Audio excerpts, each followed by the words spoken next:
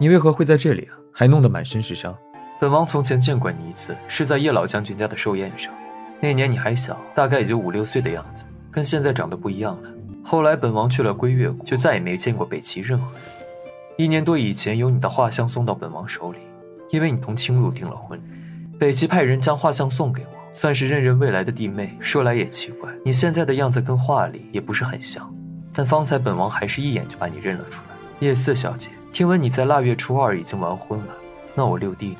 我家小姐才没有嫁给素王那个渣男，那种丧尽天良的人如何能配得起我家小姐？四王爷可千万不要再把我家小姐跟素王混在一处说了。就算以前有什么，那也是过去的事，婚约没了，从此就大路朝天，各走一边。哦，不对，也不能各走一边，我们还是要去找他报仇的，绝对不能轻易放过他。对不起，四殿下，不该当着您的面骂您弟弟，奴婢实在是没忍住。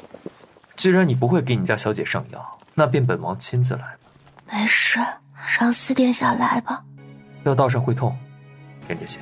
这是归月国的止血良药，本王身上也只有这一瓶，便可治最重的伤口用了。这样子挺到回京应该没有问题。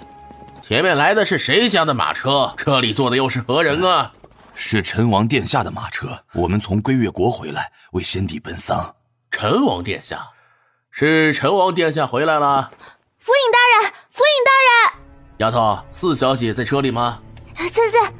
哎呦，我可算是找到你了！你说这要是找不着人，本府该如何跟云大人交代呀？快快，本府护送你们回府。府尹大人，车里不只有叶四小姐，还有我家陈王殿下。您是不是先跟殿下打个招呼，就这么忽略掉，不太好吧？哎，这怎么遇到事儿就犯糊涂了？这些年的府尹都当到哪儿去了？临安府尹池红芳恭迎陈王殿下回京，殿下千岁。都起吧，不用跪本王。叶思小姐身受重伤，需立即回京。你既是临安府尹，那便在前头带路，让守城的官兵打开城门。